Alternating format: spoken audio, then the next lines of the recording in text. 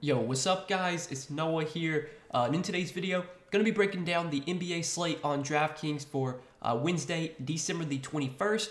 Big Wednesday slate tonight, 11 game slate, guys. So um, usually on these bigger slates, I do try and go quick. We're going to do a quick game by game breakdown of each, you know, one of these 11 games. Give you guys my thoughts on the slate, what I do like, taking a first look on Tuesday night. But before we do get started with the breakdown, as always, if you guys do enjoy these DFS videos, if they do help you out, please hit that like button down below, hit that subscribe button if you have not yet. And if you guys are new to the channel, check out the sponsor of the video, Prize Picks. So uh, Prize Picks is a player prop based DFS site, uh, very simple and easy to use. You're just taking more or less on a player's projection. Um, you can see they have some projections posted for Wednesday's games. Obviously, there's not really much up right now. I'm making this video on Tuesday night.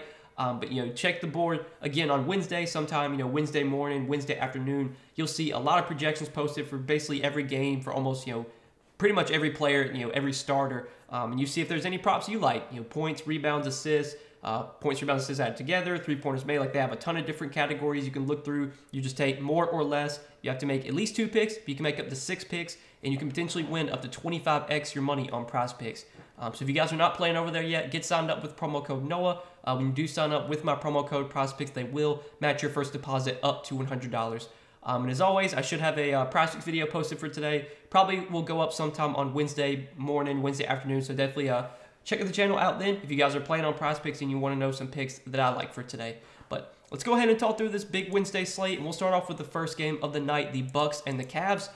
So this should be a you know really fun game to watch, but I don't know if this is a game that for DFS I really want to be targeting too heavily. On the Milwaukee side, uh, Khris Middleton is doubtful for today, so he is not expected to play. You know, with Middleton doubtful, we can expect a really big role for both Giannis and Jrue. But this is not the best matchup against Cleveland. You know, Cleveland plays good defense. They play at a slow pace. I don't love the spot for either one of Giannis or Jrue. You know, Giannis is always a guy that you can pay up for. He has such a high floor, such a high ceiling. This just doesn't feel like the matchup where I really want to go out of my way to play Giannis. Um, but I assume his ownership will be very, very low. So he's a fine tournament play. Jrue is okay, but I don't love him on the slate.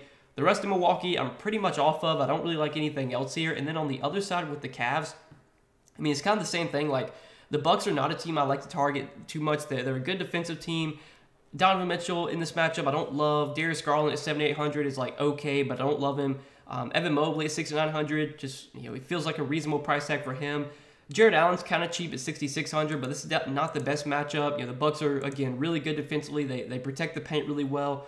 I know Allen had a really good uh, game last game, but that was a really good matchup against the Jazz. This is obviously not nearly as good of a spot. So, man, like even though this should be a fun game to watch, I just really don't see much I like for you know DFS at least. Favorite play in this game would probably be Giannis, and I just think you know that's just because it's Giannis and he can put up a huge game any night. But this just doesn't feel like the spot where I really you know want to be attacking this game too heavily. So I think we can go ahead and move on to the next one. Talk about Detroit and Philadelphia. Uh, so Detroit, they're on a back-to-back today. We'll you know have to monitor their injury report, but I think for the most part, every one of those guys you know should be playing. Looking at Detroit here, I mean Detroit's not a team on an 11-game slate I really want to get much exposure to. The one guy that I think I could get down for would be Jalen Duren. and you know Jalen Duren was a pretty solid value on Tuesday night. Had a good game. Um, I think he finished with like over 30 DraftKings points. He had a big double-double. I worry about foul trouble here going up against Embiid. Like this is definitely a spot where I think Duren could get into foul trouble. But he's been starting and playing good minutes lately, and as long as he does avoid foul trouble, I think he will play like low to mid 30s minutes. He's still cheap at 4,700. Obviously, risky spot going up against Embiid, but you know Durant at 4,700. I think if I was going to play anyone on the Pistons, he would probably be my favorite play. And then on the Philadelphia side, so obviously a good spot here. The Pistons are a really bad defensive team, so definitely you know Joel Embiid, James Harden both offer plenty of upside in this matchup. Embiid's 11,500. I'm fine paying up for Embiid today. I don't have an issue with him. Um, I don't know if he's going to be a guy that I really like prioritize on the slate, but matchup strong. If Detroit can keep this game close to where Embiid plays his full minutes, he has plenty of upside here. Strong matchup for James Harden as well. We've seen you know guards do really well against Detroit this season, point guard specifically. Harden's had you know two disappointing games lately, but I think this is definitely a bounce back spot for him against a you know bad Pistons team. So interest in Harden too pretty much it though for Philadelphia. Don't see too too much else I really like on the Sixers for today. So let's go ahead and move on to the next game. Talk about the Celtics and the uh, and the Pacers. So for the Celtics today, I don't really like too much here either. Um, you know, Jayson Tatum is 11K, Jaylen Brown is 9,400. Those price tags feel about right. I think this is a pretty good spot. The Pacers have been playing at a pretty fast pace this season, but at the prices, uh, you know, Tatum and Brown are at, I don't think either one are priority plays. I think they're just kind of like tournament options. Marcus Smart, I believe, is questionable. He is questionable, so this will be something to monitor. If Smart does get ruled out, that's a you know, small, small boost for Tatum, small, small boost for, for Brown. I think the guys we probably would want to go to, though, if Smart got ruled out, would be Malcolm Brogdon and Derrick White. Uh, Brogdon probably would come off the bench still, but he would play really good minutes. He's cheap at 5,100. Um, also, it's a revenge game, too, so I'd be interested in Malcolm Brogdon. Um, if Smart gets ruled out, I'd be interested in Derrick White too. Derrick White's really cheap, 3,900. I'd assume if Smart does not play, you'll see White start at point guard, play about 25, 30 minutes. At this price tag, he would definitely be in play for value. So I think those would be the guys I'd be most interested in from Boston. Um, Robert Williams is really cheap. He's only played, I believe, one game since he's come back from injury. Two games, actually. He's played 18 minutes in both games. So until we see him start to play more minutes, I know he's really cheap, but he's not really going to be a guy that's viable in DFS until his minutes get up there. Um, but, you know, Robert Williams is a really good permanent producer. Like, I wouldn't be surprised to see him have a good game in like 20 minutes, but wouldn't go there on a, you know, 11 game slate. And then on the other side with Indiana, it's really tough spot here for the Pacers. Um, you know, the Celtics are a good defensive team. I don't really like much on Indiana. Halliburton in this matchup, I'll probably just avoid. He's 9,600 as well, so you're not really getting much of a discount on him. Definitely not the best spot for Miles Turner, especially with Robert Williams back. I think the, the Celtics interior defense is going to be much stronger. I mean, I'm fine just like full fading Indiana today. I mean, these first few games, honestly, like these first few games are not that appealing. Um, so I think we can go ahead and move on to the next one, talk about Toronto and the Knicks. So uh, Knicks, they're another team on a back-to-back. They did play Tuesday, however, they did blow out the uh, the Warriors. So would assume everyone for the Knicks is good to go for today, even on a back-to-back. Yeah, with the Knicks, you, you can expect really big minutes for, for Julius Randle, Jalen Brunson, RJ Barrett. Don't love this matchup against Toronto, but these guys are going to play so many minutes that they all offer some upside. Um, do, do any of them stand out on this slate? I don't really think so, but if you want to go to Randle or Brunson or Barrett in tournaments as like a low-owned dart throw, I don't hate it. On the Toronto side, it's like it's kind of the same thing. We know Siakam, VanVleet, Scottie Barnes, OG are going to play huge minutes, but they're all priced correctly. Um, I don't really like much from the Raptors today, and I feel like, man, I feel like I haven't liked anything so far yet on the slate, but these first few games are just really not that appealing. Um, Siakam's got upside, but he's 10,400. It's also not the best matchup either. Fred VanVleet's been playing better lately, but now that OG's back and with his price tag being at 8,300, I don't really have much interest in VanVleet. Scottie Barnes has been a complete roller coaster this season. You never know what you're going to get from him. I don't think I'm going to go to him on this slate. OG in his first game back played 40 minutes. Um, wasn't very productive, but like he's going to play huge minutes. Uh, all these guys are at their price tags, though. I don't think really any of them stand out. And you know, the rest of the Raptors, I'm probably not going to go to. I know Gary Trent's questionable. If he gets ruled out, you probably would see like maybe maybe Juancho Hernangomez start. I think he's been starting the last few games, but like I'm not super interested in him. It's just yeah, don't see much here. Um, let's go ahead and move on to the next game. I think we're going to start to get to some more appealing games, you know, when we get later down the road. But for this one, we got Chicago and Atlanta. So looking at Atlanta today, you know, DeJounte Murray is back. He returned last game, uh, but Clint Capela is still out. John Collins also returned last game. You know, looking at the Hawks, you got Trae Young at 10,200. You got DeJounte at 8,600. Trae on this slate, I'm not like super interested in. This price tag feels about right. He did have a huge game last game with DeJounte back. I mean, go figure. Like, Trae, when DeJounte was out, was putting up, you know, 31, 51, 42, 46, 46. And then DeJounte comes back and Trae puts up 61. Like, that we were expecting the 61 point games from Trae with DeJounte out, but even though he had a huge game last game, I'm not really going to chase that on this slate. I think there's just other guys I'd rather pay up for that we'll talk about later.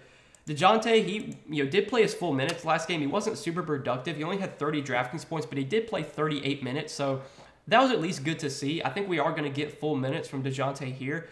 We know he's a good permanent producer. This price tag is not that high. Like 8,600 is kind of cheap for DeJounte, so if I had to play anyone on Atlanta, I think it would be him. Um, but like Bogdan has been starting lately, and I think he, he still started last game. And like with Bogdan back and playing more minutes, that's definitely taking away usage from guys like Trae and DeJounte. Um, but I'm not interested in Bogdan. They actually started John Collins at center last game. Now, he only played 20 minutes, but he was really productive in those 20 minutes. I'd kind of be interested in John Collins today if they start him at center again, um, just because he his permanent production is better when he plays at the five. Um, but obviously, it's a little concerning that he only played 20 minutes in his first game back. Clearly, you know, he might not be like fully, fully healthy. Um, maybe we'll get you know some sort of update like on his minutes limit, and then like DeAndre Hunter, I'm not on, and you know the rest of these Atlanta guys, I'm not really interested in. And then on the other side was Chicago, so it's a back-to-back for Chicago. Definitely need to pay attention to their injury report, but I think we can expect everyone to play here. You know, DeRozan at 8,500, probably my favorite of the Bulls guys. If I had to pick someone on Chicago, um, it probably would be either him or Vooch. DeRozan's been consistent this season, pretty solid, but you know, not a guy that I really feel like I ever have to play, especially on an 11 game slate. I think you know really the only times I've played DeRozan this season has been when like LaVine's been out. Um, other than that, I really haven't played DeRozan much at all. And he's had some good games, but he's also just kind of been like mediocre. Um, in the $8,500 salary, I mean, you're kind of hoping for like 50 plus, you know, 55 from DeRozan. Last time he played Atlanta, he did have a massive game, 63 DK points. I think that game did go to overtime. I'm okay with DeRozan, but not a priority play today. At 7,100, I think is fine. Um, without Clint Capela going up against John Collins, I think it's a slightly better matchup for Vooch. Vooch is a guy, another guy that I really haven't played much this season, but I think at this price tag, he's someone I'm kind of interested in for today. Rest of the Bulls, though, pretty much off of. Um, so I think we can go ahead and move on to the next game, talk about the Warriors and the Nets. So this is one we're going to have to spend some time on. We'll start off on the Warriors side. So the Warriors they are on a back to back today. They already said that Klay Thompson is not going to play. Uh, Andrew Wiggins is doubtful. And then Dante DiVincenzo uh, got ruled out unexpectedly on Tuesday. We'll have to see if he plays here. We don't really have any word yet on him. Draymond Green, they, they didn't say whether he was going to play or not. It is a back to back, and you know, sometimes you have to worry about Draymond playing on back to backs. But for now, I think we can expect Steph, Klay, Wiggins to be out. I think it's a good chance DiVincenzo will be out too. So there's going to be some value to go to here. Obviously, Jordan Poole, we'll start off with him. I mean, he's going to have a massive, massive usage, uh, usage rate. He was not very good Tuesday night against the Knicks, but they also got blown out, so really, really didn't play his full minutes. Against Brooklyn here, if they can keep this game close, I mean, Jordan Poole is going to be a big reason why. So even though he busted on Tuesday night, I'd be fine going back to Jordan Poole today. I think he's definitely in play. His usage rate is going to be even higher with Klay off the floor. Draymond, I mean, he's just been such a tough guy to play in DFS this season. He was pretty disappointing on Tuesday night. Um, he, he had like what like 23 DraftKings points or something. Um, he didn't really play his full minutes, but just not a guy that has really shown much upside. And even with a lot of guys out, like I don't know if it even benefits Draymond, just because Draymond he's he's just so scared to shoot the ball, and it's really hard for him to put up big games when he just doesn't shoot. I mean. He can have games where he gets like 12 rebounds and 13 assists and two steals and four blocks, but I know he had 17 points against Toronto. Those games like just feel outlier for him. I mean, you're you're hoping he scores double digit points at this point for with Draymond. Like he's just not a guy that really is going to be out there for scoring. He's out there to facilitate and to run the offense and just you know kind of get guys in position. So even at 6K with a lot of guys out, like I don't really have a ton of interest in Draymond. Um, Looney at 5400, like I don't know if his role really changes. I think Kuminga is going to be a good value to go to here. I assume he probably will start, but we'll definitely have to pay attention to the Warriors starting lineup. They did start Anthony Lamb on Tuesday, uh, but now that they're without Klay, we could, you know, we're gonna have to see someone else start in place of a in place of Klay. So if like Kuminga winds up starting, I think at 5K he is someone that I'm definitely interested in for value. Uh, like I said, um, excuse me, not Anthony Lane, but uh, Moses Moody started on Tuesday. So Moses Moody, I'm assuming would start again today. He's only 3,300. He's definitely in play for value. And then yeah, we'll have to wait and see like the Warriors starting lineup. I think for now we can expect Poole, Looney, Draymond to be in there. Um, could if DiVincenzo plays, I assume he would start. Kuminga might start. Um, Moody might start. So couple of guys you could consider here for value. Even like a Ty Jerome might would start. Um, but I think that's it for Golden State. I don't really see too much else I, I like here. So let's go and move on to the other side of this game with Brooklyn. So for uh, Brooklyn, you got Kevin Durant at 80 or 10,500. You got Kyrie at 8,800. You know, both KD and Kyrie here they're okay. Um, KD's price tag doesn't make him like a standout play. He'll probably run into the tougher matchup. He'll probably be guarded by Draymond, but I mean, KD's matchup proof. He can win in any matchup, so I think KD's fine. Between the two, though, I do prefer Kyrie for cheaper. I think it's a better matchup for Kyrie. I mean, when you think about the Golden, like Golden State here, if, if DiVincenzo plays, I guess DiVincenzo would guard Kyrie. But if DiVincenzo doesn't play, it'll probably be like Moses Moody or maybe like Kuminga who guards Kyrie. I don't really know. 8800 for Kyrie, though, looks kind of appealing. I'm a little bit interested in him. He's probably my favorite play on Brooklyn. The rest of Brooklyn, though, like Ben Simmons, I'm not super interested in. Hasn't really been getting full minutes lately. His production hasn't been the best either. Probably just going to pass on him. Probably going to pass on Claxton. Don't really see anything else I like on Brooklyn, so that, that'll do it for that game. Um, we can go ahead and move on to the next one, uh, Portland and OKC. So Portland today got some injuries to keep an eye on here. I think Damian Lillard is probable, so he's expected to play. Uh, I think Jerami Grant is uh, probable as well. Jusuf Nurkic did not play last game, and he is questionable once again, so this will be something to monitor. And I do believe Josh Hart's probable as well. He is so expecting you know Lillard, Grant, Hart to play. Nurkic, on the other hand, we don't really know yet. Um, obviously, last game without Nurkic, we saw Drew Eubanks get the start. Um, Drew Eubanks um, played 32 minutes, put up 26 DraftKings points. Even though his price tag came up to 4,200, I think if Drew Eubanks were to start again, he'd be in a really good value play. Um, he'd be someone that I'm definitely interested in. Obviously, this is a really good matchup against a you know, Thunder team that has really struggled defending bigs this season. But like Dame at 10,600, not super interested in at that price tag. Simons and Grant, I don't really love. Same with Hart. I think Hart gets a little bit of a boost without Nurkic. His rebounding numbers definitely spike up. He's he got eight rebounds last game, had eight rebounds, six assists, 13 points. I mean, at 5600, like I think Hart's okay option. Um, I'd have a have a little bit more interest in him if if Nurkic got ruled out. If Nurkic plays, I have a lot of interest in him just because it is such a good matchup against OKC. We've seen centers do so well against the Thunder this season. Um, obviously, Nurkic is questionable, so this will be something we have to keep an eye on. But if he does play, um, he would be very appealing for GPPs because I don't think a lot of people would go there, especially if this news doesn't come out till like you know well after lock or something. So um, right now, you know, favorite play on Portland, it, probably favorite play on Portland is Nurkic if he plays. If he doesn't play, then my favorite play would probably be uh, you know Drew Eubanks. But I have some interest in Hart as well. Simons, Grant, Lillard at their price tags, I don't love on this slate. And then on the other side with OKC, so once again, no Josh Giddey for OKC. We can expect a big role for SGA. Last game, played 36 minutes, took 24 shots, had 52 DraftKings points. Price tags you know came up a little bit to 10,100, but I still think SGA looks like a pretty decent pay up option if you want to go there. I have no issue with him. Um, the rest of OKC though, I'm not super interested in. I think Dort takes a little bit of a hit. Um, you know, with Giddey or excuse me, with uh, SGA playing, we saw him have a really big game when SGA and Giddey were both out. But with SGA back last game, you know, obviously not the best game from from Dort the the value from OKC, like Jalen Williams and Poku and these guys, like I'm just not going to go to. Jalen Williams played 33 minutes last game, was fair, fairly productive, but I feel like on an 11 game slate, we're just going to have better value available. Maybe if value doesn't open up, then you could consider Jalen Williams, but I have a feeling you know there will be better value. Poku, his minutes have just been all over the place. Played 23 minutes last game. Seems like they're keeping him like in the low 20s. Not super appealing to me. So I think that'll do it for uh, for that for that game. Let's go ahead and move on to the next one, um, Dallas and Minnesota. So we just saw these teams play a couple days ago. A lot of teams are playing again, like Portland and OKC played a couple days ago. But starting off with Dallas, you got Luka coming in at twelve thousand six hundred. Obviously, Luka you know got ejected last game, did not play his full minutes.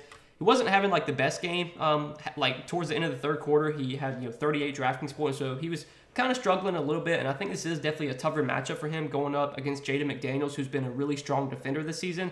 But Luka is matchup proof. I have no issue paying up for Luka today, but right now he's not really like a priority play. We'll have to wait and see like what kind of value we get if you know any value opens up on this slate.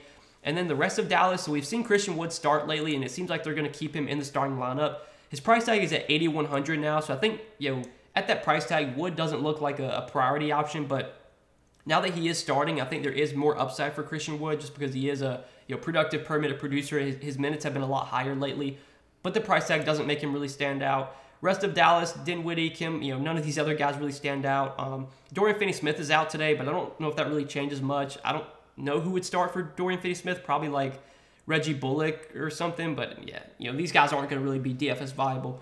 And then on the other side with Minnesota, so we've got some injury news to keep an eye on for Minnesota. Rudy Gobert, Kyle Anderson were both out last game. I believe both are questionable for today. Gobert is questionable and Anderson is questionable as well. So you know, starting off with Anthony Edwards at uh, 9,500. Not super interested in Anthony Edwards here. He did have a really huge game against Dallas last game, and you know, Dorian Finney-Smith is out today, so that's beneficial for Edwards.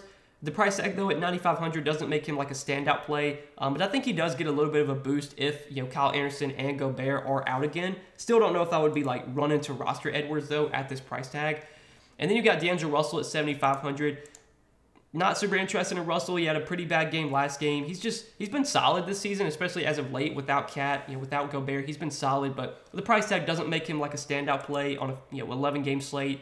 But these other guys I want to talk about. So Naz Reid's 5900. He's obviously been starting lately in place of Rudy Gobert. OKC game he started, played 37 minutes, had 51 DK points. Last game he played 40 minutes, had 52 DK points. The game against the Bulls he got injured in, um, so obviously don't want to look too much into that one, but the two full games that he has started in place of Gobert, Naz Reid has been amazing. Um, and even at 5,900, I think Naz Reid still looks like a pretty good play today if Rudy Gobert is out. Like I think Naz Reid should be like a almost a 7K player when he's starting and playing this many minutes. So at 5,900, I am very interested in Naz Reid once again if Gobert gets ruled out. Kyle Anderson, if he plays, I'm not super interested in. If he gets ruled out, I think that's a little bit of a boost to Jaden McDaniels. McDaniels played 37 minutes last game. I think they're going to want him out there as much as he can be out there to guard Luka. So minutes should be strong for McDaniels, but I'd, I'd feel better about him if, you know, Gobert and uh, Anderson got ruled out.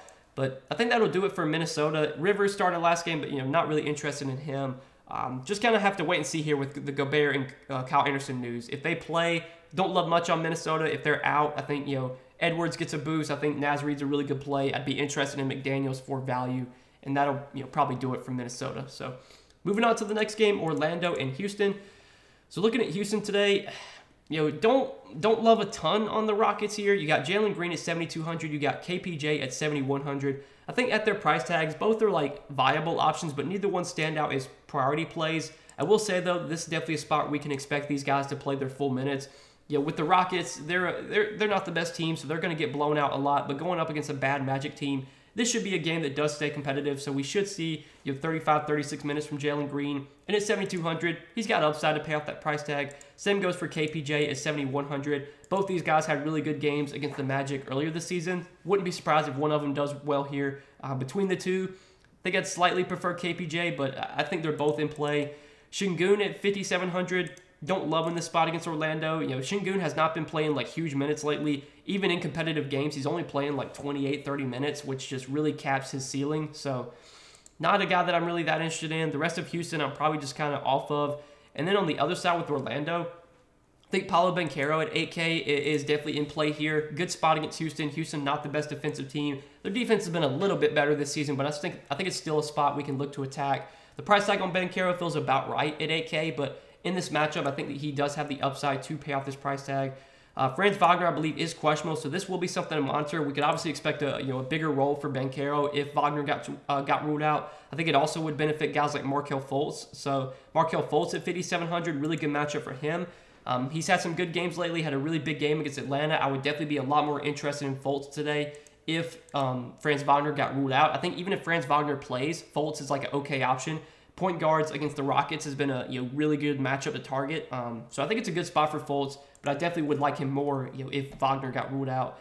But the rest of these guys, like you know Mo Wagner and Bol Bol and Cole Anthony, like none of these other guys stand out from Orlando. Um, so I think that'll do it for that game. We got two more to go over the two late night games.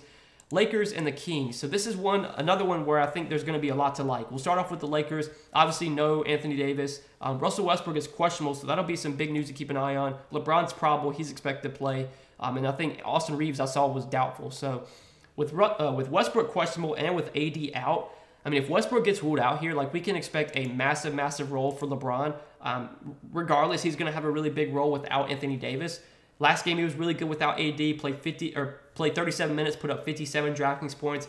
Good matchup here against a bad Kings defense, a Kings team that does play at a fast pace. I think of all the games on this slate, this should definitely be one of the most you know high scoring games. This Lakers Kings game. So very interesting. LeBron today made him the cover boy. I think he's a, a really good pay up option. I think the $9,900 salary is definitely too cheap for him. And then you know Westbrook, if he plays, I think is okay at 7,400. His upside's obviously a little bit higher without AD. I think the price tag feels about right on Westbrook, but good matchup for him. He would be playable in my opinion. And then Thomas Bryant has been starting lately in place of AD. He's been pretty productive as a starter. 33 minutes against Washington. Last game in a blowout, played 26 minutes. Been averaging about a fancy point per minute. And I think as long as this game is close and he's not in foul trouble, we can expect probably 30, 32 minutes from Thomas Bryant. Price tag came up to 5,300, but I still think at 5,300 he looks like a decent option. So I'm still interested in Thomas Bryant today. Um, and then, the, you know, Dennis Schroeder had a really big game last game. I think he obviously benefited without Westbrook and without LeBron. With LeBron back, with Westbrook maybe playing as well, I'm not as interested in Schroeder, but I think Schroeder definitely is going to have a bigger role while Anthony Davis is out. But the $4,700 salary doesn't make him a standout play today. Um, the rest of the Lakers, not interested in anyone else on this team. And then on the other side with Sacramento, big news to keep an eye on here is Domantas Sabonis, who is currently questionable. I think Sabonis, I think he's played in every game this season. Um, if, I'm pretty sure. So this would be the potentially the first game that he would miss.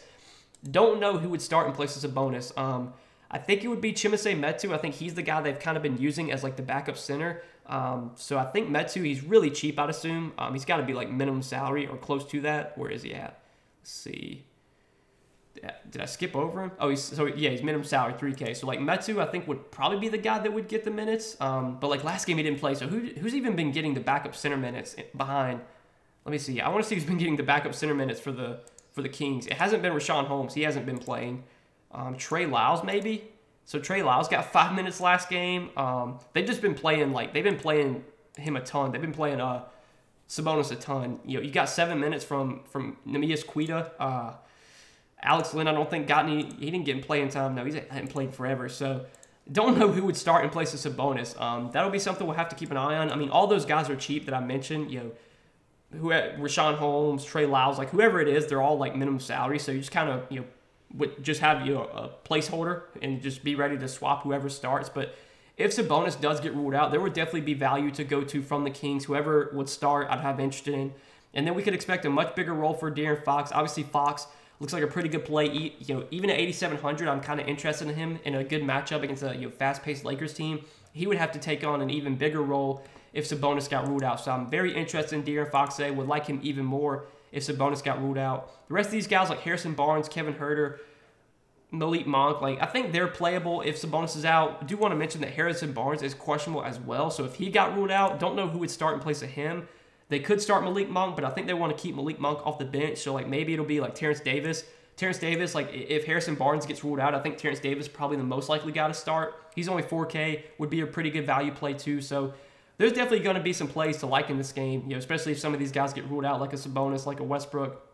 And then like Sabonis, if he plays, I'm very interested in. I mean, Sabonis has just been on another level lately. You look at his game log 59, 55, 71 DK points. Without Anthony Davis, I think this is definitely a Lakers team we can look to attack with opposing centers. Um, and I think Sabonis had a pretty good game against the Lakers earlier this year. He put up 45 DK points in 31 minutes. As long as he avoids foul trouble, the minutes are going to be there. He's been playing huge minutes as of late. So if Sabonis plays, I think he's a really good GPP play. I assume his ownership would be you know pretty low, especially if we don't get news on him until like well after lock.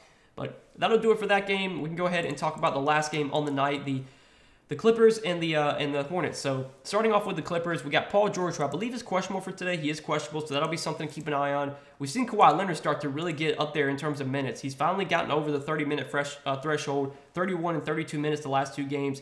7,900. I think I'm finally like down to play Kawhi today if Paul George gets ruled out. Now, if Kawhi or if uh, Paul George plays, I'm not like super interested in Kawhi at this salary, but the production has started to get better for Kawhi. The the you know per minute his per minute production has been great. He's been taking a lot of shots. His minutes have been starting to get up there as well. So I think Kawhi's starting to get to a point where he's now DFS viable. Obviously, if Paul George gets ruled out, we could expect a you know, really big role for Kawhi. If Paul George plays, I'm not super interested in him, you know, or Kawhi at their salaries. John Wall, 6,200, not super interested in. Marcus Morris, like I don't think any of these other guys are going to really be playable. Um, but you know, Reggie Jackson, I believe, is questionable, so that'll be something to keep an eye on. If Reggie Jackson gets ruled out, then maybe we could consider John Wall. Um, Ivica Zubac, I believe, is questionable as well. This will be something to monitor because obviously this is a really good matchup against the Hornets, a team we've looked to attack with centers this season. I think if Zubac plays, he's a really interesting GPP play at only 5,200. This is definitely a cheap price tag for him. If Zubac gets ruled out, I assume we would either see Moses Brown or um, Diabate start at center. Um, I think he, so it looks like he got he got assigned to the G League, so that probably means that Zubac's going to play today. But we could see, if Zubac does get ruled out, we could see Moses Brown start. I think Moses Brown's really cheap. He's 3,700. He'd be a good value. Um, obviously, a really, really good matchup. So, yeah, I'm definitely interested in you know whoever starts at center for the Clippers. I think's a, you know going to be a good play. But that's probably it for the Clippers. I don't see too much else I like here. Really, just got to wait on news for this team. You know, with Kawhi, Reggie Jackson, or excuse me, with a PG, Reggie Jackson, Zubac questionable. Um, I think Norman Powell's questionable too. We'll have to monitor some news here. Right now, you know, favorite play from the Clippers is probably Zubac if he plays. But if Paul George gets ruled out, I do really like Kawhi, and that's probably it. And then on the other side with the with the Hornets, so Lamelo Ball at 8900. Don't love the spot for him, but man, he's going to have a really big role here. He's going to play pretty good minutes, I'd assume. He only played 27 minutes last game, but that was a game that he got in foul trouble in. Price tag's up to 8,900. That feels like an appropriate price tag for LaMelo, but I believe Terry Rozier is doubtful for today. Terry Rozier did not play last game. Again, we can expect a big role for LaMelo without Rozier. So still interested in LaMelo even at 8,900. Kelly Oubre at 7,700 feels priced about right. He obviously is going to play a, a, ton of minutes without Rozier. He's going to start, but the price tag feels you know appropriate for him. Gordon Hayward, I think is 6,200. Feels priced about right, but I think his upside's a little bit higher without Rozier. He's been playing big minutes lately. Seems to be fully healthy now, so I'm okay Gordon uh, going to Gordon Hayward at 6,200. But the rest of uh, Charlotte, Plumlee, PJ Washington, none of these other guys stand out to me. I think it's really just like LaMelo and and maybe Oubre, maybe Hayward. That's probably it from the Hornets. So that'll do it, guys, for this 11 game Wednesday slate. Uh, appreciate you guys watching this video. As always, if you enjoyed, hit that like button down below. Hit that subscribe button if you have not yet. And again, if you guys are new to the channel, check out Prize Picks, sponsor of the video. You guys can sign up for Prize Picks and use my promo code, promo code NOAH. You will get your first deposit matched up to $100 when you do sign up with my promo code. Make sure to check them out if you guys have not yet. And as always, I should have a PrizePicks video posted for today. Sometime probably on Wednesday afternoon, I'll have a video posted on YouTube sharing some plays I like for PrizePicks today. Check that video out if you are interested. But good luck tonight, guys. Thanks as always for watching the video. Hopefully you guys all win some money tonight, and we'll see you guys in the next video. Peace.